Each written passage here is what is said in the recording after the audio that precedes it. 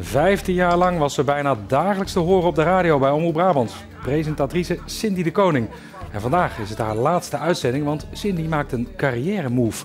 Ze gaat namelijk naar de televisie. Ze gaat dagelijks Brabant Nieuws presenteren. Ja, dat is inderdaad het programma waar u nu naar zit te kijken. En vandaag keek ze met een aantal collega's en vrienden uit de entertainmentwereld terug op 15 bijzondere radiojaren.